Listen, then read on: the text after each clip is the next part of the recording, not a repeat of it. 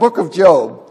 Job is, of course, the book is named after its main character, Job. And that name, Job, it's not attested elsewhere in, in Hebrew. But you do see uh, similar names, a name that's thought to be an equivalent to the Hebrew Job.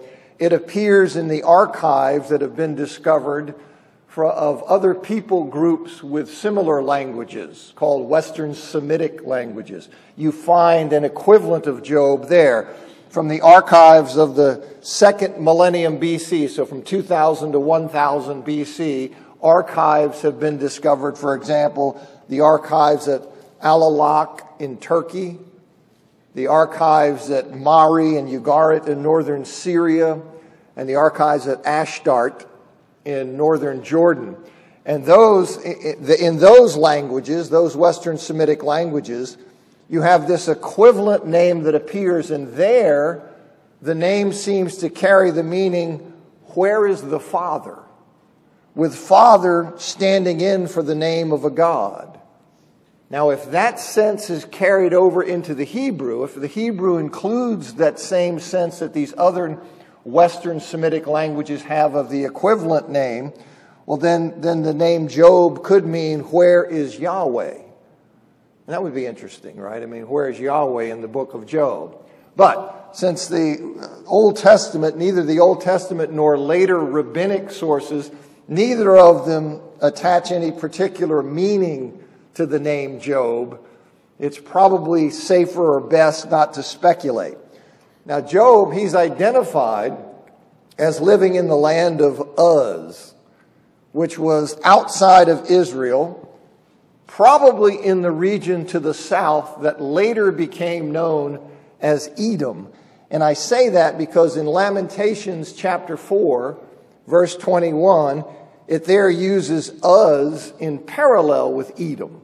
So it looks like that's the same region, at least by the time of Lamentations. And a man named Uz is listed in a genealogy of the people of Edom. You see that in Genesis 36, 28 and 1 Chronicles 142. So it looks like Uz is probably that area to the south that later became known as Edom. And Job is probably not an Israelite. Because even if he lived after the time of Abraham, which is by no means clear, he may have been before Abraham, but even if he lived after the time of Abraham, he lived in the land of Uz, outside of Israel, and he shows no awareness of God's covenant with Abraham and his descendants. Now, various clues in the book of Job indicate that the events of Job are from a very early time, perhaps before the patriarchs, perhaps before the time of Abraham. These clues include how Job's wealth is measured. For example, it's in livestock and servants rather than in land and precious metals like gold and silver, which you tend to see later as a measure of wealth. His lifespan of more than 140 years goes back and suggests an earlier time. His essentially acting as a priest for his family looks like something from an earlier time.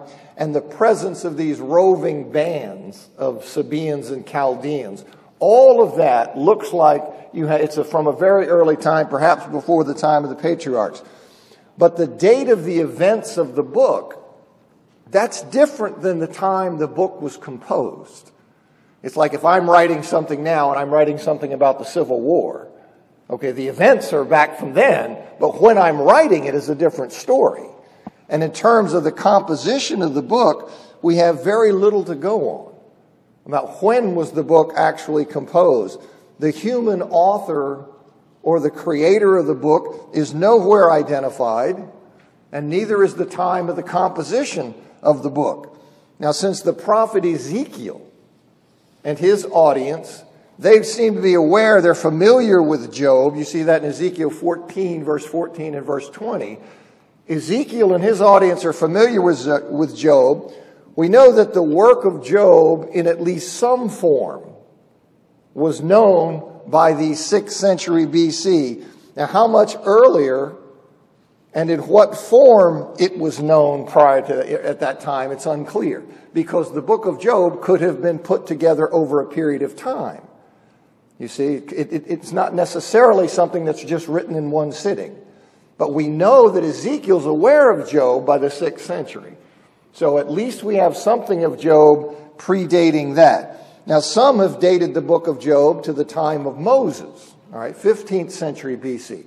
Others have dated it to the time of Solomon, the 10th century BC. But most scholars today, they date the final form of the book of Job to the 7th or 2nd, between the 7th and 2nd centuries BC. Okay, that's a mighty wide span, right? But we can't be sure because you just don't have sufficient data to be able to make a clear determination.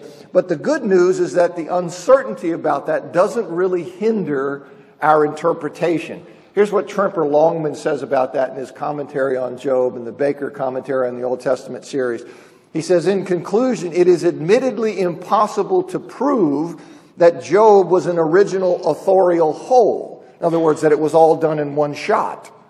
It could have been done incrementally. You could have had compilers and this kind of thing. Nor is it possible to prove that it was written over an extended period of time. Neither point is important. What is crucial, at least for the church, which has received the final form of the book as canonical, as part of Scripture, is to interpret the book as it presently stands. Okay, and that's the key is that whatever the, however the book comes to be, the book is in our canon in a certain form. That is how it functions, and so we need to look at it that way.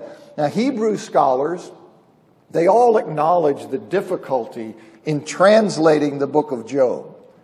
It has many rare words in it, okay, which means then it's difficult to be sure of the meaning because if you only have a word showing up a couple of times, it's hard to get a clear bead from the context of what does the word mean and what are the limits of the meaning of that word. So it has a lot of rare words and it includes difficult grammar. So there's, there's more room than normal for disagreements about translation. And if you've compared translations of the book of Job, you'll see that. Whether you've looked at uh, standard English translations and compared them, or whether you've included in that translations from uh, scholarly commentators. Now, what I did is I worked principally from the English Standard Version, but I consulted a, a good number of other translations when I was studying this, including the translations of scholarly commentators. I have a number of commentaries, so people who are uh, Hebrew scholars will provide their own translations and talk about the Hebrew. So I've consulted some of that. Now, when I opt in the course of teaching it for a less common translation, I'll usually point that out so you'll know. You say, well, that seems weird. My translation's saying this. I'll make a point of letting you know what I'm doing and why I'm understanding it a certain way. Now, it's helpful to keep in mind, I think, that Job is not a newspaper report. See, Job's not a newspaper report of ancient events. It's a literary work based on those events. So it's not like reading a newspaper there. It means that whoever was involved in the production of the completed work, the form of the book of Job that we have in Scripture, whether it was authors, editors, compilers, whoever had a hand in producing the book that we now have as Scripture, that person or those people, they were moved by the Spirit to express the story in this particular form to give the story this particular literary shape.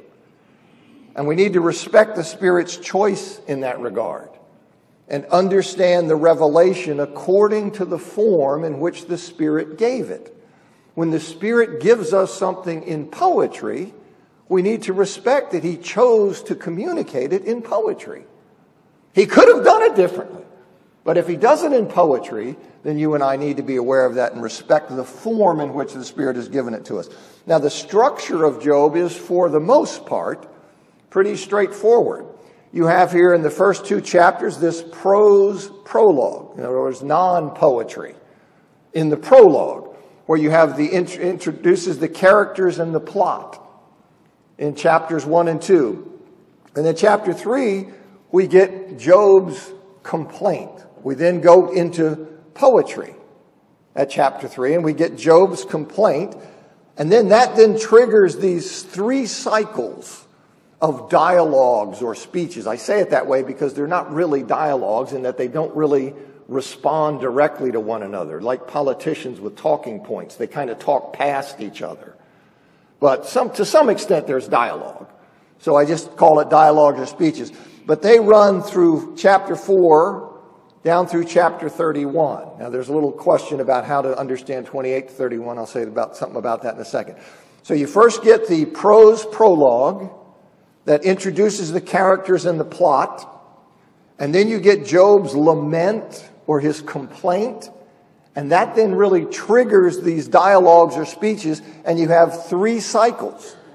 You have the first cycle where it begins in chapter 4 and it goes Eliphaz talks, Job talks, Bildad talks, Job talks, Zophar talks, Job talks. That's the one cycle. Then you go with the second cycle beginning in chapter 15. Same thing. Eliphaz, Job. Bildad, Job. Zophar, Job. Then we get to the third cycle. And there you have starting in chapter 22. Now you just, you have Eliphaz, Job, Bildad, Job, no Zophar. Zophar's not there. He doesn't, he doesn't appear again. And then instead, and by the way, here, when I have 26 to 31, when I say the structure of the book's uh, pretty straightforward, a lot of people would take chapters 28 to 31 and break that out as a separate monologue of Job's. In other words, not included as part of the third cycle. They would just go Eliphaz, Job, Bildad, Job, 26 and 27, and then 28 to 31 say this is Job's monologue that is not really part of that cycle. Looks to me like it's all part of the same thing, so that's why I grouped 26 to 31. But here you don't have, you don't have Zophar appear, and instead you get this young man who's heretofore uh, unidentified who breaks in. This is Elihu. And then you have Elihu's monologue in, in 32 to 37. No response to Elihu. And is Job going to say anything? No. What happens is Yahweh, God breaks in in the whirlwind. And this is when we see in 38 through 41, he speaks. And then in 42, 1 to 6, you see Job repents.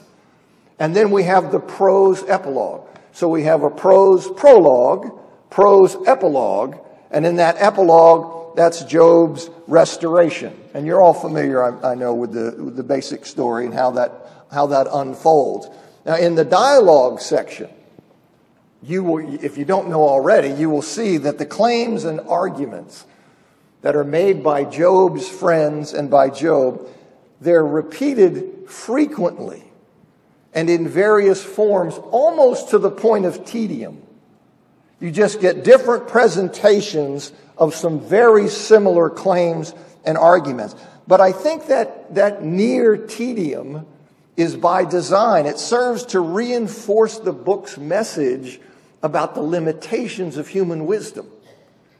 You see, that's part of the design of the book, I think. It illustrates how human wisdom can pursue and continue groping almost like chasing its tail. It can continue doing this with no advance. So we just have these things repeated and repeated and a response and response and repeated, and there's no real advance.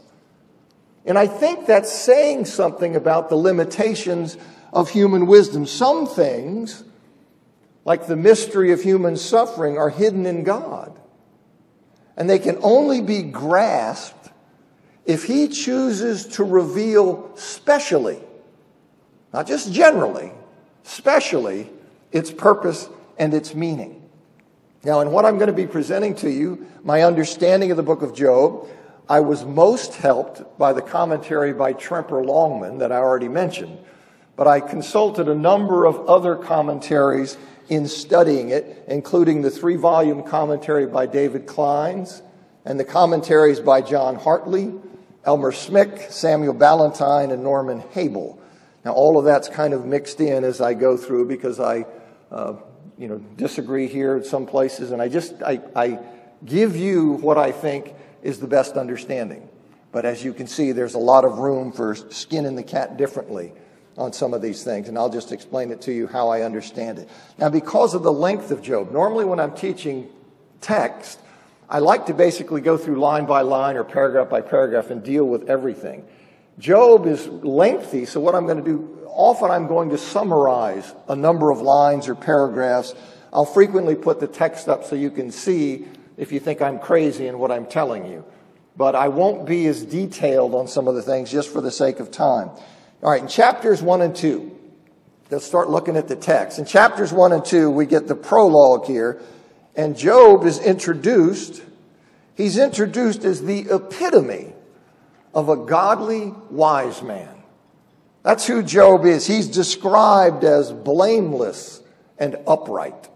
Some translations will say innocent and virtuous.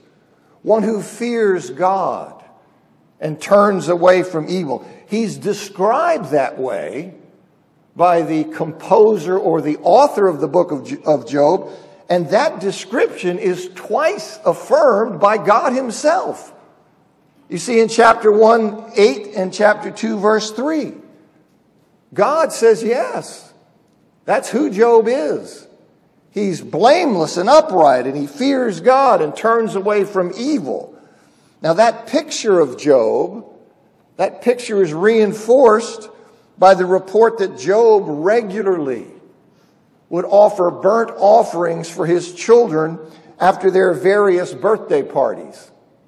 And he would do that just in case they may have sinned and cursed God in their hearts. See, just internally having these sense of rebellion or rejection of God, not vocalizing. But just in case he'd done that. Now, whether that kind of sacrifice would have any effect apart from the repentance and the participation of the sinner, that's not the point. That's not why it's mentioned to Job. The point is that Job is so religiously devout. He's so devout that he was concerned about his children's possible sin and he offered sacrifices in the hope of gaining God's mercy on their behalf. This is the kind of person we're talking about. Okay, here's somebody who's this way. Longman points out in his commentary. He says in Proverbs, these terms that are used to describe Job, whether it's blameless or innocent and upright or virtuous, those terms refer to people who do what is morally correct you see, do I have Longman's thing in here? No, I don't have Longman's, so let me just read it to you. Okay, so you have in Proverbs, these terms refer to people who do what is morally correct. They're the ones who heed the commands of the Father and gain wisdom. Their lives are largely marked by ethical rightness and legal obedience. Okay, so from these descriptions that you get of Job and from God's affirmation of Job's character, what we as the readers know for a fact. We know absolutely for a fact that Job is pious and devout. He is a pious and devout servant of God. He's not sinless. No mere human is sinless. He's not sinless, but Job is a paragon of faithfulness. We know that. We are told that. That's not up for debate. Now, there's a clear stream of teaching in the Old Testament. This is crucial for understanding what's going on. We don't know when Job is composed. We know that it's referring to events very early. But there's a clear stream of teaching in the Old Testament that connects rewards and blessings with the righteous living that flows from godly wisdom so you've got righteous living, godly wisdom, it flows from that, rewards and blessings. There's this stream in the Old Testament that connects those. And it connects suffering and punishment with the wickedness that flows from folly, that flows from a rejection of divine wisdom. Certain sections of Proverbs, for example, support that understanding. Well, there's the, uh, there's the quote by Longman I was looking for. But certain sections of Proverbs, this understanding where you have blessings tied to righteous living punishment and suffering tied to wickedness. You can see this. This is a stream of the Old Testament. For example, Proverbs 12 20, no ill befalls the righteous, but the wicked are filled with trouble. 1321, disaster pursues sinners, but the righteous are rewarded with good. And you see that there. You see it in the promises of blessings and curses that are in Deuteronomy chapter 27 and 28. And you see it in the judgments that, that were brought on Israel and Judah as those judgments are explained in Samuel and in Chronicles and by the prophets. You see this clear stream that says blessings, good things tied to righteous living that flows from wisdom. Suffering and punishment tied to the wickedness that flows from a lack of wisdom and a rejection of God. Now, the abundant blessings of righteous Job fit very comfortably within that theology, right? I mean, that's what we expect. Job is a paragon of faithfulness. He's declared to be innocent, blameless, upright, fears God, does all of these things. God affirms that. We know that's the kind of person he is, so it doesn't surprise us in the least to see that Job has all kinds of good stuff. Right? Job has all kinds of good things. His cup overflows with sons and daughters, bountiful livestock, very many servants. So many that Job is described as the greatest of all the people of the East. Well, that fits. Look at the guy he is. He's pious, righteous, devout. Okay, that's how it rolls. That's how God rolls. When you're that way, you have all of these things, you see, that come to you. His great blessings, they're fully expected.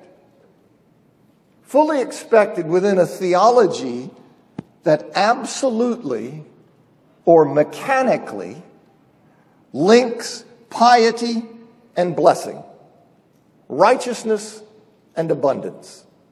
It's perfectly expected. That's what would happen.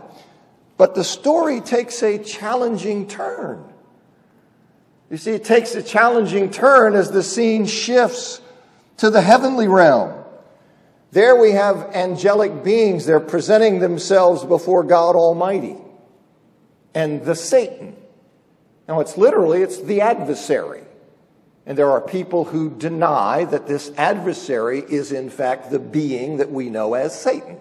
But Satan is the ultimate adversary. So I say Satan. You see, he is the adversary. So you have these angelic beings who are presenting themselves, and this ultimate adversary, Satan, is at that time, he's still permitted to come among them and to have some kind of access to God. And so they're there, and here Satan is there. And Satan says to God that he's been prowling the earth. And he's been doing that, no doubt, seeking to expose as hypocrites. Seeking to expose as hypocrites all of God's ostensibly faithful servants. Those who might appear to the heavenly court to be human, humans living true lives of devotion to God. Lives of true devotion. You see, they might seem that way, but he's been prowling around looking to expose them. These people who have a good cover. And that's why God recommends Job. He recommends Job for Satan's consideration. It is because Satan has been prowling around, looking here, you know, seeking to expose as hypocrites all of these people who might appear to be truly pious and truly devout. They're all phonies. There are no such people like that. And so that's why God, given that what Satan is doing, that's why God recommends to Satan Job. He identifies Job to Satan as the real deal. He's the real deal. He's the supreme example of a truly pious, God fearing human being. In other words, unbeknownst to Job, Job has no idea of this. unbeknownst to Job, he is chosen by God. He's chosen by God to be the standard bearer of human commitment and devotion to God, to be mankind's champion. Mankind's champion against the claim that all humans are at bottom pretenders who ultimately serve only themselves. That's the charge that's made. And Job doesn't know that he's been chosen by God to be the counterexample, to be mankind's champion of true piety and devotion. You see, that's why Satan, that's why he responds to God's recommendation of Job with the accusation that Job serves God only from self interest. He serves God only because God pays him to do so by granting him wealth and blessings in return. He says, Listen, you don't really know what's going on. You're just paying the guy. He's a spiritual prostitute. He's only devout and devoted. He's doing this stuff simply because you pay him. That's all it is. It's ultimately self interest. He doesn't care a thing about you. None of these people care a thing about you. And so that's what Satan, that's why he goes through that. And he proposes to prove that God's confidence in Job, and thus God's confidence in any human being, his confidence in mankind is misplaced. He, he wants to prove to God that, this, that his confidence is misplaced by declaring that he says, look, here's a test. Job will curse you to your face, meaning he will abandon, openly abandon his commitment and devotion to you. He will openly terminate your relationship. He will just say adios. He will openly do that if you'll take away the things that he has. He'll do that. And so God expresses his confidence in Job by permitting Satan. Now, do you see what this is from God's side? What confidence he has. What an honor for Job that God expresses his confidence in Job by permitting Satan to take away all the things he has, meaning his livestock, his servants, and his children, which Satan promptly proceeds to do through raids by the Sabaeans and the Chaldeans, by lightning, what's called fire of God from heaven, and through a great windstorm.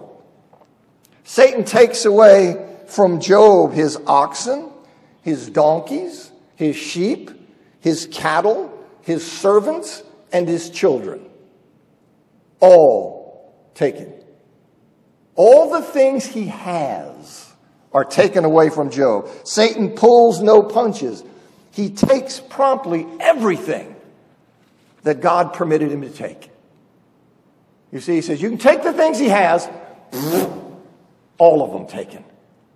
Now, it's important for us to recognize that Satan is not God's equal. See, Christians are not Persian Zoroastrians, people who believe creation's locked in a battle between two opposing and roughly equal forces of good and evil, light and darkness, God and Satan, so that the ultimate outcome is somehow up for grabs and uncertain. That is not a Christian understanding of God and creation. In fact, it's heretical. God is sovereign.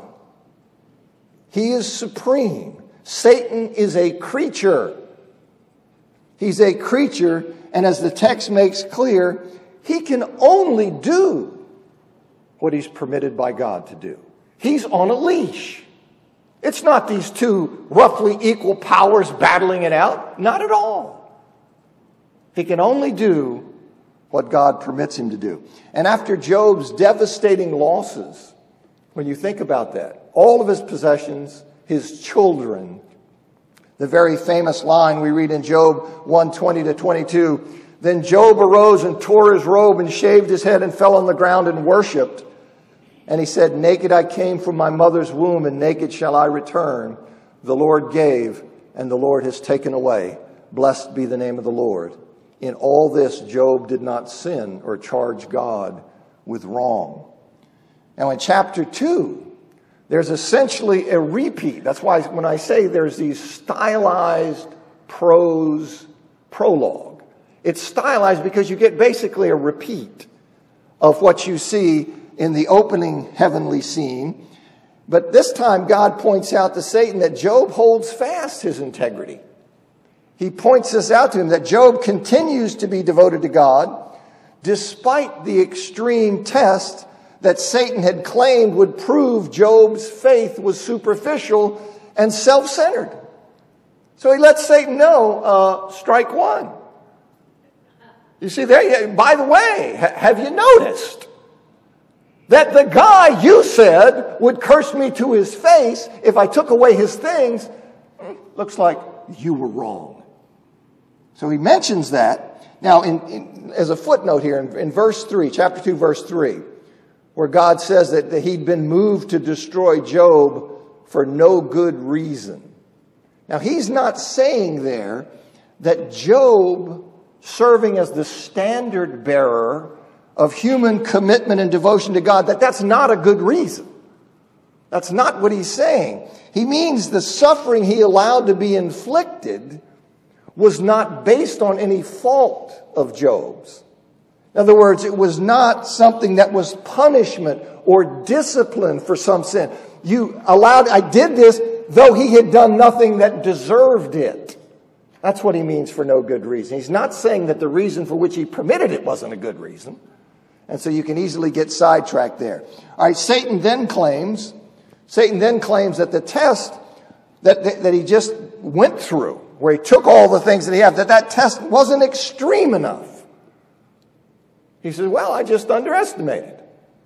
The test that we just ran to expose that Job's a phony and a spiritual prostitute, he says that that test wasn't extreme enough in that it, it affected only Job's external things. It didn't affect his own body and his health. Ooh. He says it, it took away, yes, yes, those are, those are serious things but it didn't affect his body and his health. He says if God will strike Job's body and health, if he'll do that, if Job is made to suffer physically rather than just emotionally, if he's made to suffer physically, he said, then he'll disown you and he'll curse you to your face. So, God again expresses his confidence in Job by permitting Satan to strike his body and health, but he forbids him from taking his life. You can put him through the physical wringer, but you cannot kill him. And so God, but you see what confidence that is. What an honor that is. And Satan promptly strikes Job with painful sores or boils from head to foot.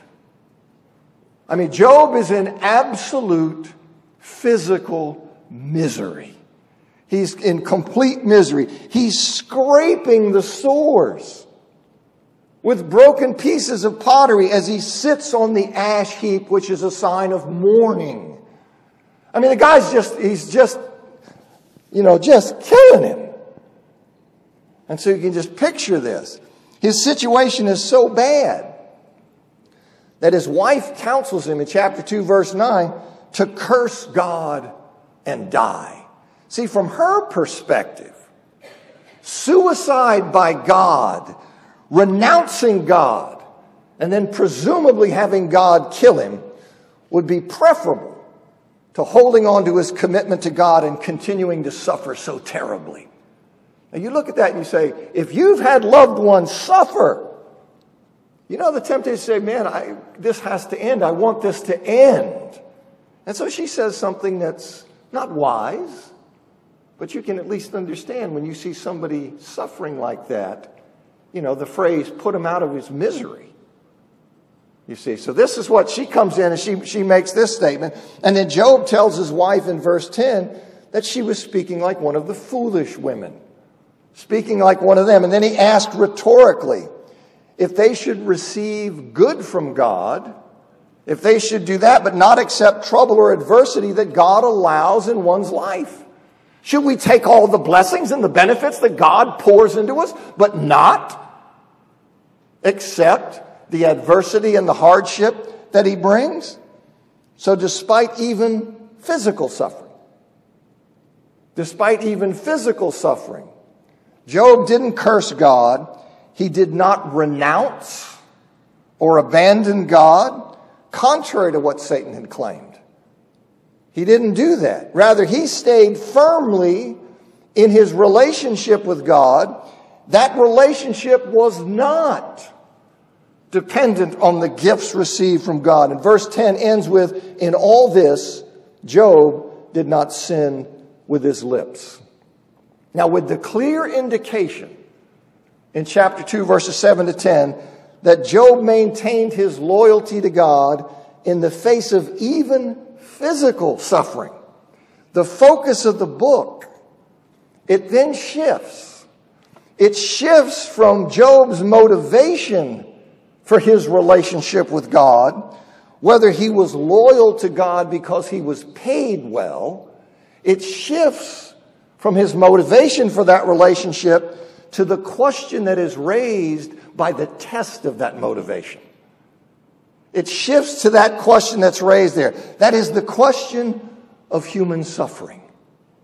The question of human suffering. Now, the test of motivation, that test is still in the background. It's still in the background as Job's suffering drags on. It's understood by the reader to be the immediate cause of Job's suffering. But no further mention is made of Satan.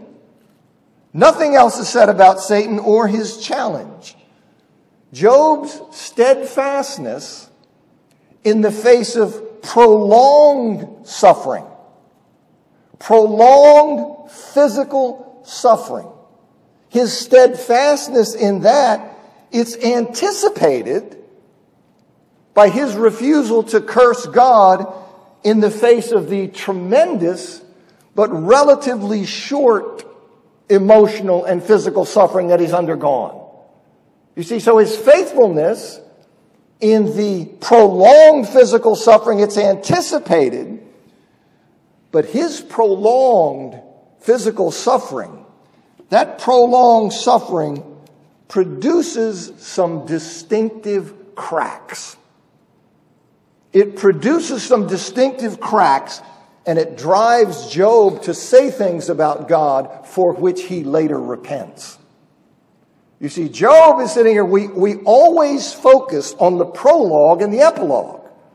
And we miss the entire part in the middle. Where you're going to see, and I hope you can understand what it's like to suffer day after day, week after week, as suffering, physical suffering drags on. If there's not a person here who can understand and relate to these cracks that appear in Job, you see, uh, that's something. For example, Eliphaz, you see the indicative of the cracks. Eliphaz says in Job 15 6, 15, 6 Your own mouth condemns you, and not I. Your own lips testify against you.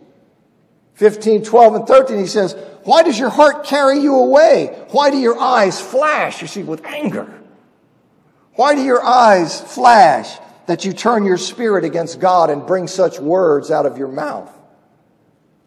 And at the end, in chapter 42, verse 3, after God speaks in the whirlwind, Job acknowledges that he spoke, he spoke about things he, he didn't know. He spoke out of ignorance, things that were above his pay grade. And then he says in 42 6, I despise myself and I repent in dust and ashes. The Old Testament scholar Elmer Smick, he says, what lifts the book to literary and theological greatness is the author's deft presentation of a truly righteous man whose commitment to God is total, yet who can still struggle with God to the point of rage over the mystery of God's ways. And you will see Job is being just put through the wringer. And you'll see these very human cracks of a very righteous man. Okay? But as I say, his faithfulness, his not cursing God throughout prolonged, it's anticipated, it's predicted, it's going to turn out to be true, but you and I are going to go on a journey through the vortex of his suffering and what it produces in him. And I hope that through that, you know, we'll see some things about God, and I hope in your own life that will be useful to you. But through it all, Job remains true. See, he remains true to his conviction about God, his commitment to him, put it that way, and it remains true that Job doesn't curse God in all the, the emotional storms and the spiritual struggles and all those things that his prolonged physical suffering, he doesn't renounce or abandon God. He struggles greatly with God. He struggles greatly with him, caught between his pain and the inability to make sense of it. That's the vice that he's in. And so he struggles greatly with God, and in that emotional vortex, he denies God's commitment to his welfare and he charges God with wrongdoing. He charges God with being unjust, but he never cuts off his relationship with God. He never curses God to his face and abandons God. So Satan's claim that Job would curse God, it remains disproved throughout the book. But it moves to the background, you see. That whole thing about his motivation and those things is in the background. Now, given Job's false charges against God that he will make in these speeches in this dialogue section, when God says in chapter 42, verse 7, that Job spoke of him what is right, he's not approving everything Job said. He's not doing that. Sometimes people look at that and then they think that baptizes everything Job said. And it doesn't because God has just finished rebuking Job for wrongly accusing him during his dispute with the friends. He's just finished rebuking him. Rather, God is saying, uh, well, if I'm alive next week, I'll carry on. okay. Thanks for coming.